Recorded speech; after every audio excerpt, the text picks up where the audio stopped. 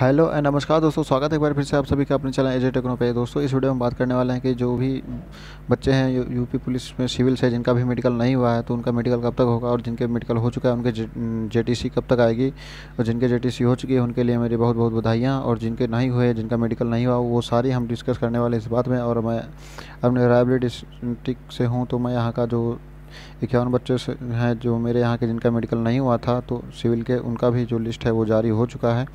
वो भी मैं आपको दिखाने वाला हूँ।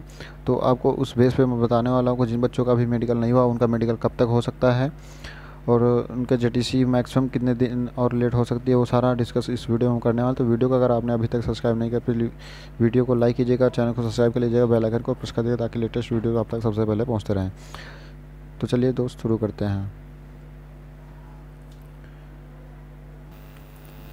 जैसा कि मेरा डिस्ट्रिक्ट रायबली है तो रायबली से आज लिस्ट लग चुकी है। जिन बच्चों, का मेडिकल नहीं हुआ था।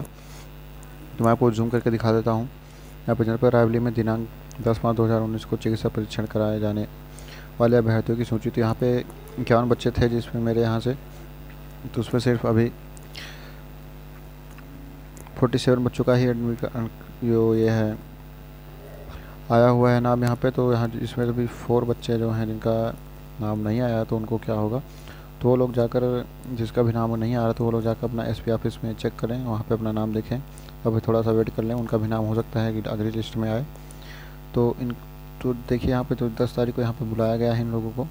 तो दस तारीख को तो ये कन्फर्म होगा कि दस तारीख को अभी इनका मेडिकल होगा, उसके बाद ही इनको यहाँ पे जे तो मिलेगी। तो इनकी जो जेटीसी है, वो यहाँ पर बारह या तेरह तारीख को इनकी जे मिलने वाली मेरे पास एक रिकॉर्डिंग भी है। तो उस रिकॉर्डिंग पे भी यही बताया गया कि आप चिंता ना करें, आपकी जो जेटीसी है, वो 12 या 13 तारीख तक आपको मिल जाएगी या 12 या 13 तारीख को आपको भेजा जाएगा, ठीक है? तो आपको चिंता करने की ज़्यादा ज़रूरत नहीं है तो मैंने आपको यहाँ पे दिखाते जिन बच्चों का मेडिकल नहीं हुआ तो उनका मेडिकल यहाँ पे 10 11 ऐसे करके हर डिस्ट्रिक्ट में जो भी है, वो करवा सकते हैं वो लोग। हो सकता है कहीं कहीं नौ को कल भी रहो। तो इस तरीके से यहाँ पे पूरा जो मेडिकल प्रोसेस है, वो चलेगा। तो सबका मेडिकल कंप्लीट हो जाएगा, उसके बाद ही जे हिसाब से भेजेंगे। जहाँ जहाँ का जेटीसी हो चुका है, वहाँ के बच्चों को जेटीसी भेज रहे हैं, जहाँ का मेडिकल हो चुका है। तो बस वीडियो वीडियो में इतना ही बताना था। अगर वीडियो आपको पसंद है, वीडियो को लाइक कीजिए शेयर कीजिएगा।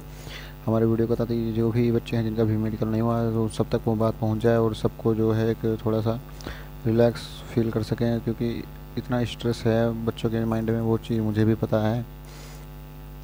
तो मिलते हैं अगले वीडियो में, तब तक के लिए जय हिंद, जय भारत।